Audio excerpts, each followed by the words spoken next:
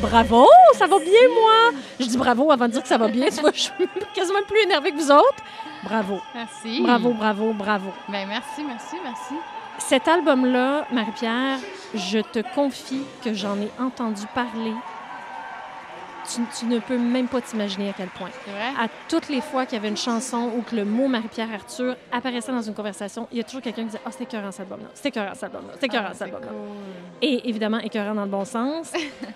Tout le monde m'a fait remarquer, et même en l'écoutant, puis moi-même, je l'ai remarqué, il y avait encore plus d'harmonie sur celui-ci. Tu tripes sur les cœurs, Oui. les voix, Ouais, beaucoup, hein? ai- euh, j'ai- ouais, effectivement porté plus d'attention à ça cette fois-ci avec, un, avec Ben Bouchard, avec qui on a vraiment pris le temps de, de- de faire ça longtemps. Bon, évidemment, l'album, tu fais encore plein de spectacles. Il y en avait encore tout récemment. Tu es un peu partout avec ça. Est-ce que c'est une tournée qui va s'étirer encore un petit peu jusqu'en Oui. 2016? Ah oui, oui, en masse. Euh, Jusqu'à l'automne prochain, certainement. Donc, si les gens n'ont pas eu la chance de voir le spectacle, on a encore du temps. là. Oui, oui, oui. Ok. C'est sûr, sûr, sûr. T'adores être en tournée.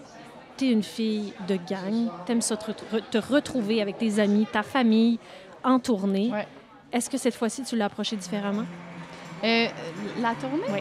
C'est encore, euh, c'est une belle question parce que je me demande tout le temps si ça va rester ce plaisir-là parce que la vie change, puis euh, la famille, les- mais finalement pour moi maintenant, ça, ça a des allures de vacances de partir en tournée parce Arrête. que, ouais, c'était pour moi avant c'était stressant, le, puis comparé à la vie de, de Montréal, famille mélangée avec la job, tout ça, quand je passe la route, je m'en vais écouter de la musique dans un truck, puis je m'en vais en jouer le soir. C'est sûr que c'est fatigant physiquement, mais euh, je m'en vais faire ce que je sais faire. Tu sais, c'est comme. T'as l'impression de déconnecter même. Ouais. Mais c'est génial. Ouais, ouais, c'est, vraiment génial, en fait. Tantôt, on a parlé à Ariane Moffat. Oui. qui nous disait si elle avait à offrir un Félix ce soir, c'est à toi qu'elle l'offrirait. Et elle l'a c'est fait. elle! c'est elle qui me l'a donné! Mais c'est extraordinaire. Ben, écoute, c'est, tellement symbolique, c'est tellement cute pour moi, ce moment-là. là.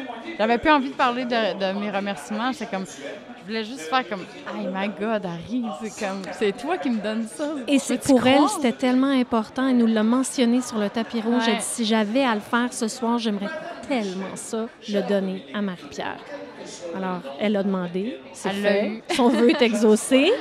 Encore une fois, je te dis, plus que bravo, cet album-là, vraiment, j'aime le mot doudou. C'est vraiment, c'est c'est pas une belle description, mais tu comprends tellement l'image qu'on veut y donner. C'est ça que ça a fait pour nous. Ben, merci beaucoup. Alors, un gros merci à toi. Merci à toi. Bonne soirée.